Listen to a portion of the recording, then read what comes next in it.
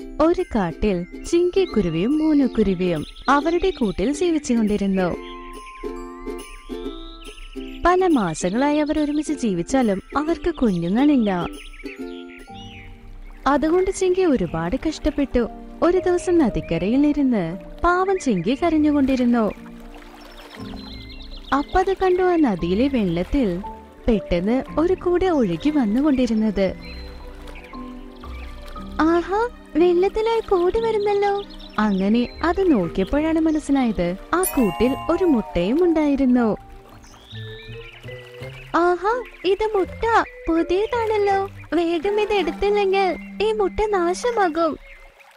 അങ്ങനെ പറഞ്ഞ ചിങ്കിക്കുരുവി ഉടനെ കൊക്ക് കൊണ്ട് മുട്ടയെടുത്ത് അതിന്റെ കൂട്ടിലേക്ക് കൊണ്ടുപോയി. അപ്പൊ അവിടെ ഉണ്ടായിരുന്ന എല്ലാ പറവകളും കണ്ടു ചിങ്കിക്കുരുവി അതിന്റെ കൊക്കിലൊരു മുട്ട കൊണ്ടുപോകുന്നത്.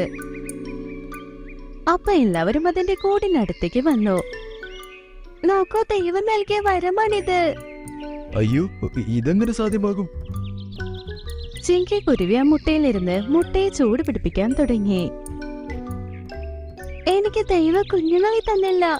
അതിന് പകരമായി മുട്ട വരമായി നൽകിയത്. ഇനി ഈ മുട്ട ഞാൻ തന്നെ നോക്കും. ഈ മുട്ടയ്ക്ക് വേണ്ടി ഞാൻ ജീവൻ തന്നെ നൽകും.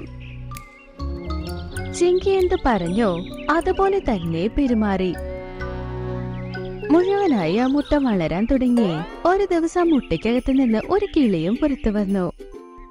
ആഹാ എന്റെ കുഞ്ഞ് ഈ ഭൂമിയിലേക്ക് വന്നു. അത് കണ്ട് എല്ലാവരും ആശ്ചര്യപ്പെട്ടു. എന്നാൽ അതൊരു ചെറിയ തത്തമ്മ? അയ്യോ ചിങ്കി ഇതൊരു തത്തയാണ്. ഇത് തത്തമ്മയായാൽ എന്താ? എന്റെ കുഞ്ഞാണ്. എന്ന മുതൽ ഇതിന്റെ അമ്മ ഞാനാണ്. ദൈവത്തിന് നന്ദി. ചിങ്കിയുടെ സന്തോഷത്തിന് ഇപ്പൊ അളവില്ലായിരുന്നു. അത് സമയത്തിന് മിട്ടുവിന് ഭക്ഷണം കൊടുത്തു. എല്ലാ വിധത്തിലും അതിനെ നന്നായി നോക്കി. രണ്ടു മാസം കൊണ്ട് മിട്ടു നന്നായി വളർന്നു. ഇപ്പൊ പറക്കാനും തുടങ്ങി. ആഹാ എന്റെ കുഞ്ഞിത്ര മനോഹരമായ ആകാശത്ത് പറക്കുന്നു. ഇത് കാണുമ്പോ തന്നെ എനിക്ക് സന്തോഷം തോന്നുന്നു. ഇനി എനിക്കും എന്റെ കുഞ്ഞിനോടൊപ്പം ആകാശത്ത് പറക്കാൻ കഴിയും. അപ്പൊ കാട്ടിൽ എല്ലാവരും എന്നെ നോക്കും. ചിങ്കിയുടെ സന്തോഷം കണ്ട് മോനുവും സന്തോഷിച്ചു. ഇപ്പൊ അവർ മൂന്ന് പേരും പറന്ന് ഒരുപാട് സ്ഥലത്ത് പറക്കാൻ തുടങ്ങി. മിട്ടു ഇപ്പൊ കാട്ടിലുള്ള എല്ലാ മൃഗങ്ങൾക്കും. പിന്നെ അവളുടെ അമ്മയ്ക്കും ഓമന മകളായി മാറി. അപ്പൊ ഒരു ദിവസം എന്ത് സംഭവിച്ചെന്നോ ഒരു മൈന ചീക്കയുടെ കൂടിനടുത്ത് വന്നു. അവിടെയുള്ള മിട്ടുവിനെ കണ്ടത് കരയാൻ തുടങ്ങി. എന്റെ കുഞ്ഞ് എത്ര വലുതായി വളർന്നു. അവസാനം ഞാൻ നിന്നെ തേടി കണ്ടുപിടിച്ചു. അങ്ങനെ മൈനയുടെ കരച്ചിൽ കേട്ട് എല്ലാ പറവകളും അവിടെ എത്തി. അപ്പൊ ചിങ്കി പറഞ്ഞു ആരാ നീ? എന്റെ മിട്ടകളെ എന്തിനാ നിന്റെ കുഞ്ഞെന്ന് പറയുന്നത്?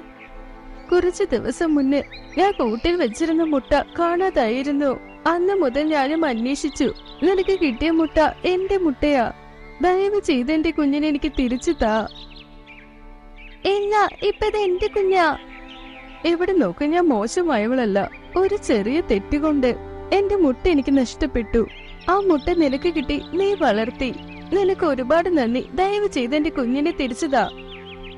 ഇല്ല ഇത് എന്റെ അമ്മയാണ്. അവരെ വിട്ട് ഞാൻ എവിടേക്കും വരില്ല. അപ്പ എല്ലാ പറവകളും ഇതിനെ കുറിച്ചാണ് സംസാരിച്ചത്. മിട്ടു ചിങ്കിയെ തന്നെ കെട്ടിപ്പിടിച്ച് നിന്നോ? അതിന്റെ ശരിക്കുമുള്ള അമ്മയെ അത് നോക്കിയത് പോലുമില്ല ചിങ്കി പക്ഷി നിന്റെ നല്ല മനസ്സ് ഞങ്ങൾക്ക് മനസ്സിലാകുന്നുണ്ട്. എന്നാൽ മിട്ടുവിനെ അവന്റെ അമ്മയുടെ പോകണ്ടേ? അത് അവന്റെ അവകാശമാണ്. അത് കേട്ട് ചിങ്കിക്കുരയുടെ കണ്ണിൽ നിന്ന് കണ്ണീർ വന്നു. മിട്ടു പോകാനായി തയ്യാറായതേയില്ല പക്ഷേ പറവകൾ പറഞ്ഞ കേട്ടല്ലേ പറ്റൂ? അതുകൊണ്ട് മിട്ടു അതിന്റെ സ്വന്തമായ അമ്മയുടെ കൂടെ പോയി. ചിങ്കി മിട്ടു പോയത് കണ്ട് ഒരുപാട് സങ്കടപ്പെട്ടു. മിട്ടു സങ്കടപ്പെട്ടു പക്ഷെ അതിന് വേറെ വഴിയില്ലായിരുന്നു. കുറച്ചു നേരത്തിൽ അവർ രണ്ടുപേരും ആ കാട് വിട്ട് വളരെ ദൂരെയുള്ള മറ്റൊരു കാട്ടിൽ ചെന്നു. അവിടെ ചിങ്കി സങ്കടത്തിലായിരുന്നു. പക്ഷെ പെട്ടെന്ന് അതിനൊരു കാര്യം ഓർമ്മ വന്നു. അയ്യ ഞാനെങ്ങനെ ആ കാര്യം പറഞ്ഞത്? ആ മൈന പറഞ്ഞ മുട്ട കൂട്ടിൽ നിന്നാ കാണാതായതെന്ന് പക്ഷേ എനിക്ക് കിട്ടിയപ്പോൾ കൂടോടെയല്ലേ മുട്ട കിട്ടിയത്? അത് കേട്ട് പറവളും ചിന്തിക്കാനായി തുടങ്ങി. അപ്പൊ ചിങ്കി വീണ്ടും പറഞ്ഞു മൈന അത് അറിഞ്ഞതിനു ശേഷം കുഞ്ഞിനെ കെട്ടിപ്പിടിച്ചല്ലോ സംസാരിച്ചു പോലുമില്ല. നേരെ എവിടെ നിന്ന് കൊണ്ടുപോയി അതിനെ. എനിക്ക് തോന്നുന്ന മിട്ടു ആപത്തിലാണെന്ന് നിങ്ങൾ എല്ലാവരും എന്തിനാ എന്റെ കുഞ്ഞിനെ ആപത്തിലാക്കിയത്? നീ ഒന്നോർത്തും വിഷമിക്കണ്ട ചിങ്കി. നമുക്ക് മിട്ടുവിനെ തക്കതായ സമയത്ത് ഈ കാട്ടിലേക്ക് കൊണ്ടുവരാം. വാ വാ. സമയം പോയിക്കൊണ്ടേയിരിക്കുന്നു. അങ്ങനെ ആ പറവകളുടെ കൂട്ടം അവിടെ നിന്ന് പറന്നു. അപ്പുറത്ത് മിട്ടു അമ്മയെന്ന് പറഞ്ഞ മയനോടൊപ്പം ഒരു ഗുഹയ്ക്കടുത്ത് വന്നു.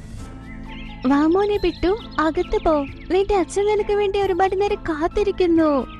മിട്ടു സങ്കടത്തിലായിരുന്നു. അതുകൊണ്ട് മിണ്ടാതെ ആ ഗുഹയ്ക്കകത്തേക്ക് പോയി. അകത്ത് പോയതിനു ശേഷം മിട്ടു ശ്രദ്ധിച്ചു. നീല നിറമുള്ള ഒരു മൈന കൂട്ടിൽ ഇരിക്കുന്നത്. അപ്പൊ അവിടേക്കൊരു കഴുക് വന്നു. കഴുകിനെ കണ്ട് മിട്ടു പേടിച്ചു.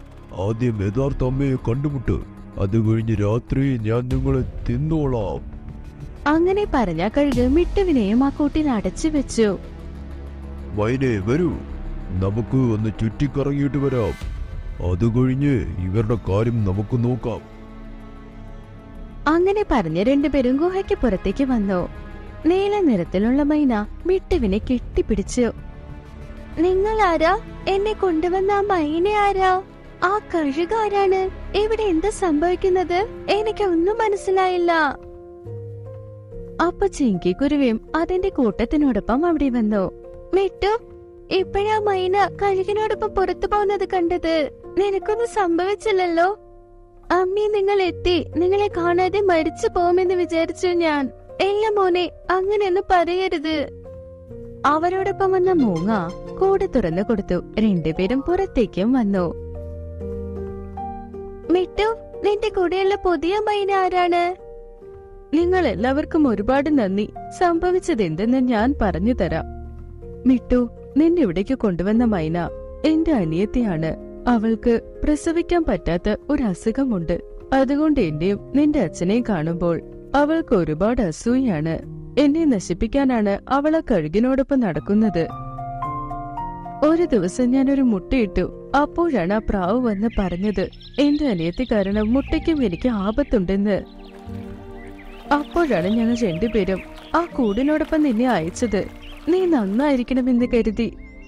അതിനുശേഷം കഴുകു നിന്റെ അച്ഛനെ കൊന്നു കളഞ്ഞു. എന്നെ കൂട്ടിലിട്ട് അടച്ചും വെച്ചു. അവർ പറഞ്ഞു മുട്ട കണ്ടുപിടിച്ച് നിന്റെ കൺമുന്നിൽ തന്നെ കൊല്ലുമെന്ന് അന്ന് മുതൽ മൈന മുട്ട അന്വേഷിക്കാൻ തുടങ്ങി. പക്ഷെ ദൈവം എന്റെ പ്രാർത്ഥന കേട്ടു. അതുകൊണ്ടാ നീ രക്ഷപ്പെട്ട് ഇപ്പൊ നീ എന്റെ മുന്നിൽ വളർന്നു വന്ന് നിൽക്കുന്നത്. സത്യമാ മോളെ നിന്നെ രക്ഷപ്പെടുത്താൻ വേണ്ടിയാ. നിന്നെ ഞങ്ങൾ അന്ന് പറഞ്ഞു വിട്ടത്. അത് കേട്ട എല്ലാ പറവുകളും ഒരുപാട് ആശ്ചര്യപ്പെട്ടു. അപ്പം ഇട്ടു അവന്റെ സത്യമായ അമ്മയെ കെട്ടിപ്പിടിച്ചുകൊണ്ട് പറഞ്ഞു അമ്മേ നിങ്ങൾ എനിക്ക് ജീവൻ നൽകി. പക്ഷേ എന്നെ നന്നായി നോക്കിയ ഒരു അമ്മയുണ്ട് അവരല്ലാതെ എനിക്ക് ഇരിക്കാൻ പറ്റില്ല. നിങ്ങളും ഞങ്ങളോടൊപ്പം തന്നെ വരൂ അമ്മേ. ചേച്ചി മിട്ട് പറയുന്നത് ശരിയാ. മിട്ടുവിന്റെ ഇന്നു മുതൽ രണ്ടമ്മ. നമുക്ക് രണ്ടു പേർക്കും അവന് സ്നേഹം കൊടുക്കാം. നമ്മളോടൊപ്പം അവന് സന്തോഷിച്ച് ജീവിക്കും. ഏത് കേട്ട് മൈലിയും സന്തോഷിച്ചു.